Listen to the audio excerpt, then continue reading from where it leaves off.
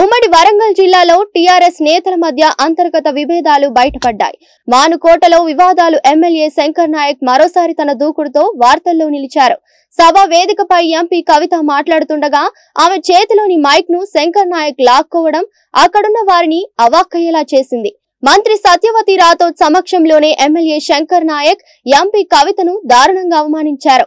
MP కవిత mic తీసుకొని మాట్లాడుతున్న క్రమంలో నేను మాట్లాడుతా అంటూ వచ్చిన ఎమ్మెల్యే శంకర్ నాయక్ మధ్యలో వచ్చిన వాళ్ళు మీరు. కాంగ్రెస్ నుంచి వచ్చి నీ పెత్తనం ఏంటి? పోపో అంటూ ఎంపీ కవిత చేతిలో నుంచి మైక్ను బలవంతంగా లాక్కున్నారు. బ్యానర్ అన్న శంకర్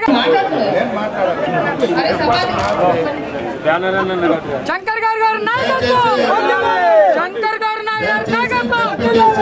ఎంపీపీలు మండల మండల ప్రెసిడెంట్లు వేదిక పైన చైర్మన్లు నగన పైకి రా చైర్మన్ గారు పైకి జడ్పీటీసీలు మండల వైజ్